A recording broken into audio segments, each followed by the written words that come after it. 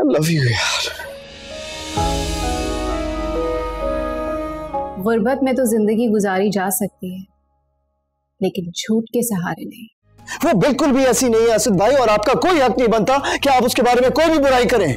वो जैसी भी है वो मेरी है। कुछ पूछ रहा मैं तुमसे। क्या रिश्ता तुम्हारा होता है साथ?